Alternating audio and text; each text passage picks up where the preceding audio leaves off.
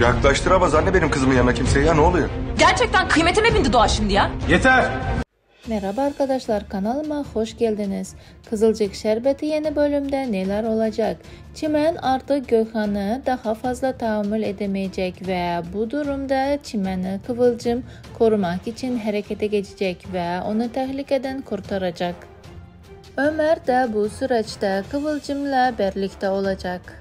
Çimen'in de yanında olacak ve Gökhan'a sert bir uyarıda bulunacak ve ona Çimen'den uzak durması gerekliliğini söyleyecek. Öte bir tarafta Nursema ve Umut'un durumunu da göze geçirelim.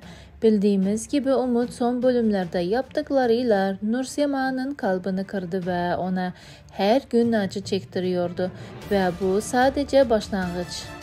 Nursema'ya öyle bir kötü çektirecek ki Nursema ondan boşanmayı isteyecek.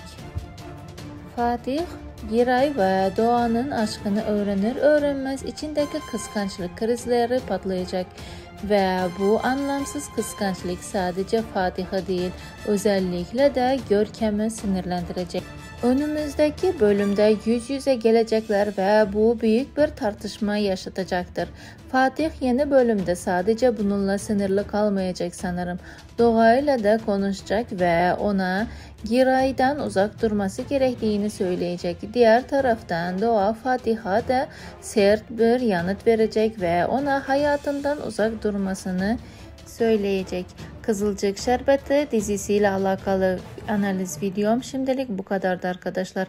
Daha fazla videolar izlemek için kanalıma abone olmayı ve bildirimler tuşuna basarak fikirlerinizi yorumlar kısmında yazmayı unutmayın arkadaşlar. Yeni videolarda görüşmek üzere. Hoşçakalın.